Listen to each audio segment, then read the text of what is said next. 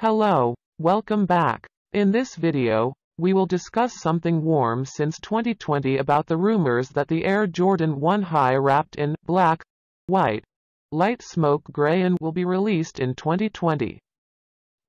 Since neutral gray Air Jordan 1 made such an important comeback this year, it would be a shame if the brand left their many OGs of equal importance.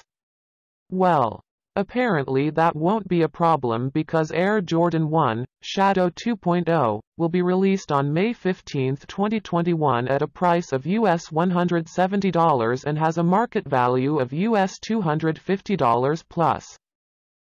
Although previously speculated. The initial mock-up depicts the upcoming retro in a two-tone setting. A new image, however, features light smoke gray across Jordan 1's signature expanse in a faded style. Although it hasn't been confirmed by Jordan Brand, the couple's latest look has been touted as a sample, which certainly has many fans planning their compatibility.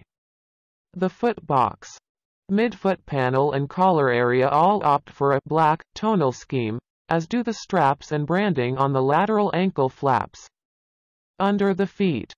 The single unit keeps things simple in white and what appears to be a slightly lighter shade of the aforementioned hue. Maybe that's all I can say, hopefully it's useful for you. And for those of you who want to buy or sell this product, click the link in the description. And buy.